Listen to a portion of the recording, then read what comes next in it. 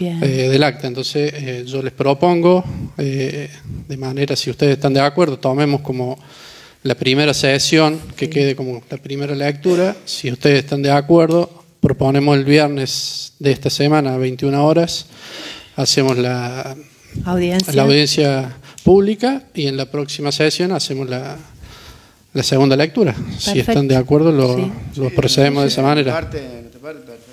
Sí, sí. ¿Eh? Sí, sí, muy bien. Porque en definitiva es lo que me parece que es lo más correcto y por eso llegamos a esto.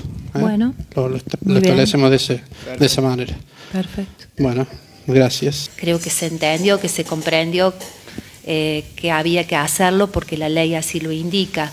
Lo que creo es que tenemos que ahora comprometer a la, a la ciudad, a, la- a los vecinos, a que vengan a la audiencia pública, que vengan con sus problemáticas, que vengan con sus propuestas, que participen activamente porque nosotros podemos hacer una parte de la tarea, pero a ellos les toca defender en, el momento en que se les da la oportunidad, como, que, como es una audiencia pública, y explicar la situación en la que se encuentran.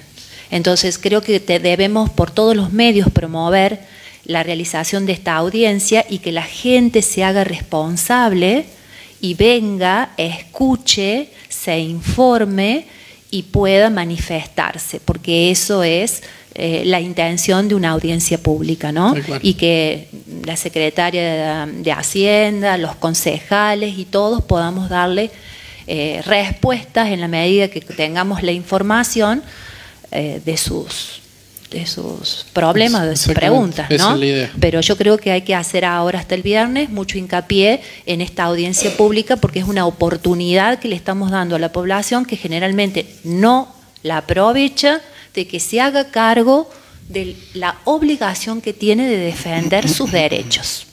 ¿Sí? Y expresarse públicamente porque eso es la democracia, precisamente.